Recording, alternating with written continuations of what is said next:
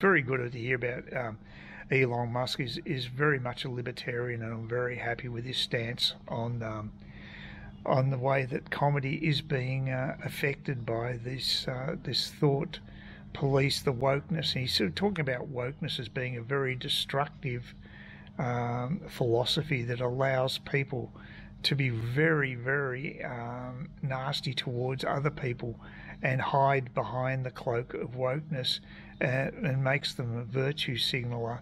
And they can say the most horrible things against people who are deemed to be politically incorrect. And I agree with that. I think it's a, it's a very, very uh, dangerous uh, uh, philosophy. I think it will die. I think it already is dying. Um, and I think uh, there are certain comedians who are basically standing out against it because if you, if you really, be, really want to be a comedian, you have to basically just tell them where to go and, uh, and not kowtow to that sort of intimidation. Uh, the other thing that um, another piece of news, it sort of is related to Elon Musk in a way because it's to do with our um, to do with space research. Uh, I don't know if you've heard of the SLS, but it's a, it's a huge rocket that uh, a number of contractors have uh, produced for um, for NASA, and uh, one of the biggest one of those is Boeing, and they've got their own problems, as you may have know, with um, with certain aircraft that have been bad, and also the, the uh, uh, one of the um, replacements for the uh, space shuttle that they're supposed to provide to, to shuttle astronauts and cargo to the uh, space station uh, has had numerous problems and delays. The SLS is another one of their projects. It's supposed to use uh, proven technology, but it keeps getting delayed continually. It's a massive rocket with incredible power to take uh, uh, astronauts to the moon. But the trouble is, it's not uh, reusable technology, so it costs an absolute packet. I think about a billion dollars per launch. Um, whereas Elon Musk's Starship can uh, can do pretty well the same job at a fraction of the price, you know, tenth of the price, something like that.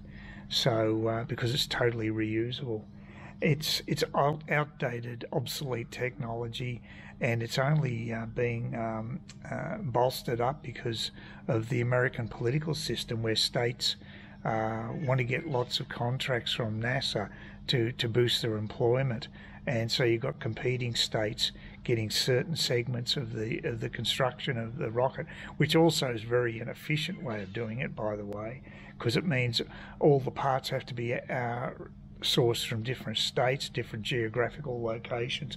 Um, none of that occurs with SpaceX.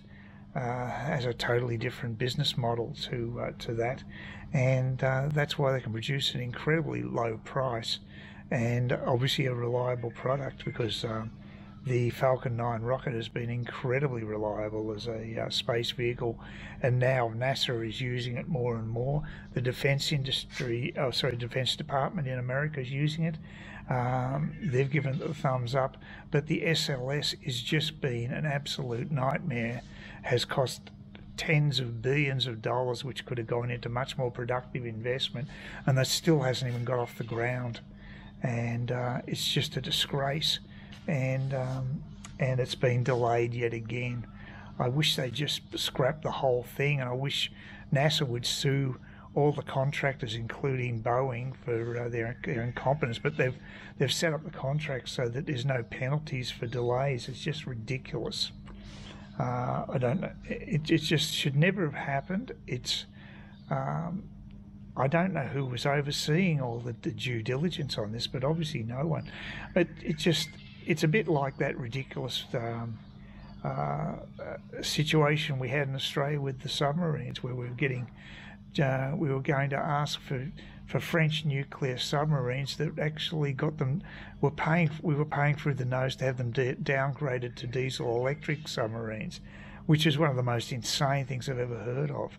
It's simply because we didn't have a nuclear industry to basically fill up the spent uh, uranium when the uh, when the subs had run out of fuel, they'd need to be replenished, and we didn't have the infrastructure to provide that. So uh, we had to have diesel electric. Now we've got a new agreement with uh, America and the UK, which can provide uh, submarines that are nuclear for the life of the sub. The, the fuel will last there, so you don't need to have them replenished. So that's the big difference. So um, once we get the sub, it's operation. It, the, we don't have to worry about the nuclear fuel. It's it's looked after. Uh, but the same sort of thing with the SLS, a massive waste of government money, uh, like that French subcontract would have been. That was, thank God we got out of that. It still costs us a lot of money to, to get out of the contract, but still much better that we've uh, got a new um, a new arrangement, in my opinion. And it's a and the Americans would be uh, would do well to basically scrap the SLS as well. Uh, just annoys me with all this this waste. I was actually contemplating riding the bike up to uh, Clifton Beach today. I pumped up the tyres yesterday, so all in preparation. That's how long it's been since I've ridden the thing because the, the tyres had been a little deflated.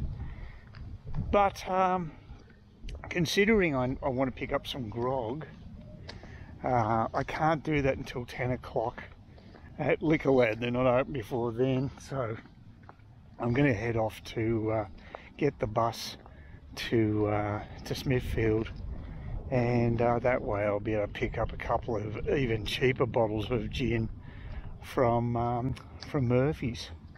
So I'm getting two bottles, and I've got to get some greens. I really feel bad not having my greens. I've had any um, spinach for quite a few days, and just having slight withdrawals over that. Um, it's quite pleasant at the moment because there's a slight breeze and it's overcast and it's not too hot, but yesterday I was contemplating riding to uh, Clifton Beach, but the temperature, once it hit the afternoon, it, it just stayed uh, stubbornly above 30 degrees. Said it felt like 35 degrees, uh, and it didn't actually go down um, even up till 5 o'clock in the afternoon. Normally, the temperature would drop about 3 o'clock in the afternoon, but yesterday, for some reason, it was just it was hanging around at that temperature right until 5 p.m. So I said, stuff this, it's just way too, too hot. So I didn't even bother trying.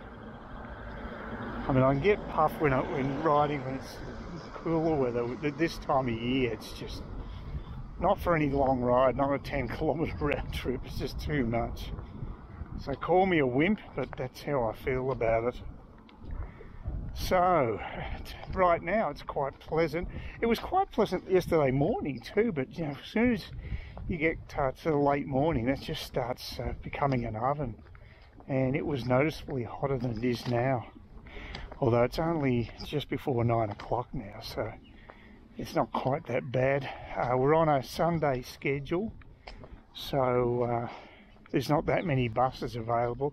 One an hour basically, so uh, it's about the same time though, um, for you know, the schedule wise, but just this instead of having two choices every half hour, it's one every hour. So yeah, it's uh, 11 past the hour, which is what it normally is anyway. But it's 11 past and 41 past, of course, when you're in a weekday situation. So, but I'm just happy the buses are running because I am quite isolated here without it other thing I was going to talk about was uh, Christmas Day went fairly well. It was interesting to meet new people because um, uh, Lynn had a number of friends that she'd met through social uh, networking, and uh, the one that actually gave me a lift, she's only met two weeks ago, so I was quite surprised at that one. Um, and uh, she had a bit of a story herself. She it, it's, a, it's an example of how tough this COVID thing can be. She actually, her, her mother, who had dementia, died in October uh, this year. And because of the COVID restrictions between interstate and what have you, I think she was living, she died in uh, New South Wales and they tried to get the body down to, to Victoria. And apparently that was a real hassle because of all the restrictions. And on top of that, she couldn't come to the funeral herself and had to watch it from Darwin, which uh, seems pretty rough. So um, she couldn't actually um, uh, watch her mum's uh, own funeral uh, in person. She had to do it from another state. I don't know why it was Darwin. I've got I can't remember what the reasoning for that was, but it just shows how cruel that can be with all these border restrictions and what have you. And it's not just a matter of a medical situation with people, it's about psychological, family situations. It causes a lot of distress. Well, I'm now waiting for the uh, bus. It's only going to be about a quarter of an hour wait, so that's not too bad when you consider the buses come every hour, assuming it turns up on time, admittedly. Yeah, it's a bit of a ghost town here. Um, very quiet uh, overall. Not many people in the main uh, part of Smithfield Shopping Centre and uh, Dan Murphy's is a real ghost town. There was uh, only another customer there and yeah, it wasn't much activity. Um, and the bank's the same thing, pretty quiet. And um, there were a few people in the supermarket, but there were no specials on. I thought there might be some post uh, Christmas specials, but nothing. That's a bit disappointing. Um, so I got most of the things I got. I, I the um, the home brand uh, dates at, uh, Coles aren't in stock because I'm going to get an order uh, delivered later in the week. Uh, but they do they did have them at um, at Woolworths, so that was good. So I'm, I'm going to still get my fill of, um, of El Cheapo pitted dates, so that's good. And I got other stuff I needed. Still haven't seen any diced um, uh, beef on special, which you normally get uh, sometimes during the week, about 50% of the time. Uh, it's pretty expensive at the moment, about 13, 14 bucks, so uh, it's gone up in price. There's no discount, so I'm going to have to wait and hope that that uh, reduces. Uh, we'll see. Seems to be luck. But no one else waiting for the bus now, so it's pretty quiet. Um, and like I say, not that many passengers going in. Um, half, there were a few, quite a few people not wearing masks. Um, majority are. Um, but that includes supermarkets. So it's like I said, it's a bit more laid back up here when it comes to that. Everyone on the bus seems to seems to be the exception. Um, and as I say, the consequences of these um, these mandates, like stopping people travelling interstate, can have devastating effects on individuals. Like um, the the girl who gave who kindly gave me a lift down to uh, Lynn's place for Christmas Day. Um, yeah, she's still pretty cut up over it, which is fair enough. I mean, it's only in October that uh, mum died, so that would be pretty traumatic. Also, dealing with someone with Alzheimer's would be pretty difficult too, um, very hard.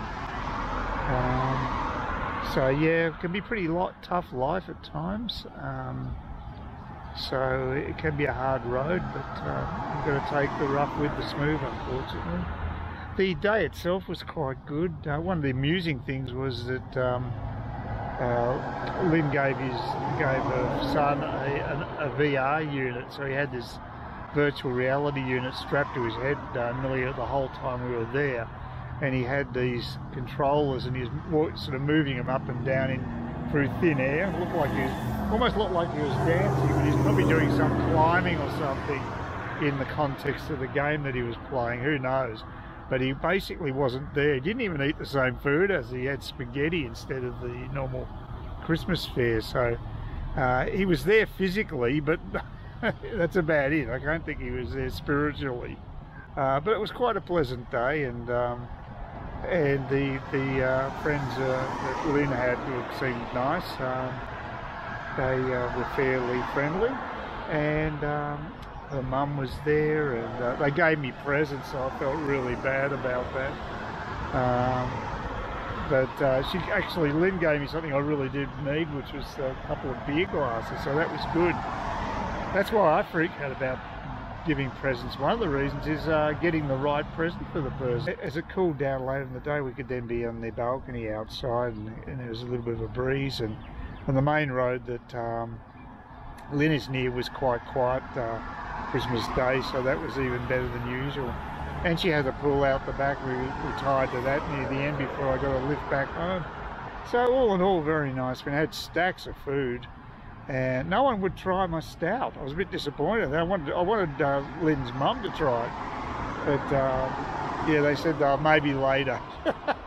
That's a polite way of saying no thanks. it can be anyway.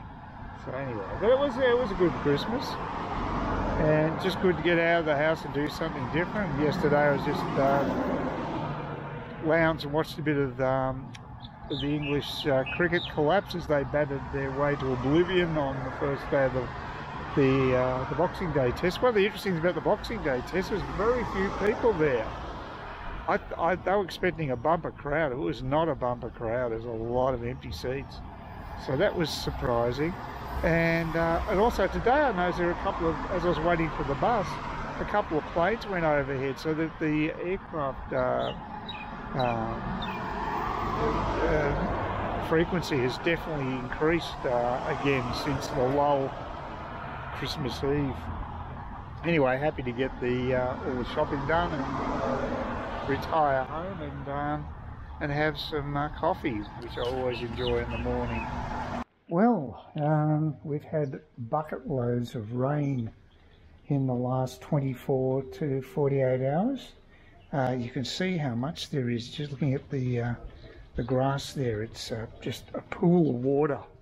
I I walked across this bit here just to get to my um, compost bin and my thongs. I was just just really every footstep sank into the ground. Just that much moisture there at the moment. So yeah, we've had a really big dumping of, of rain, pretty well constant rain for you know around 24 hours or so. So you could see the uh, the result of that. I've noticed also I've got a uh, flash an article up on screen which I think is quite uh, revealing, and that's about the um, situation with the Omicron uh, strain, how it's uh, it's incredibly uh, contagious, but it doesn't seem to be causing much grief. And I think that's great news, and I think um, that uh, you know it's it's it's it'd be great if the um, the press actually made it quite clear that things aren't as bad as people are making out and were more responsible, weren't looking for sensationalistic headlines because there is a lot of grief happening at the moment because of the uh, COVID situation. Uh, I know a lot of people up here, they've been, the, the tourist industry's been screaming about the fact that uh, they that people need to have PCR tests and they reckon that uh, they need to get a couple of them, and now they're going to basically go to the antigen tests because the, go the state government was pressured by uh, business so much. It, it's um, apparently 400,000 people wanted to come up to Queensland for holidays. It just you know makes sense because they're just sick of being locked down down south. So uh, it shouldn't really surprise anybody. The demand has been pent up. So, um, but it is good to see that uh, the press, at least, least the Daily Mail, is admitting there that uh, that the uh, the Omicron is not causing havoc in uh, in hospitals and ICU units and that type of thing. It's um, it's actually just getting people more more people infected, more herd immunity, which should in effect be a good thing. So we should uh, take it more as a positive. Anyway, that's uh, that's basically my report from a very damp and cool Cairns. Quite pleasant actually in that respect, but uh, very damp. Please uh, consider subscribing to my channel if you think there's anything there of, uh, of use to you or entertainment or whatever. And uh, either give do that or give me a thumbs up or, or if you're feeling really energetic, do both. That'd be great.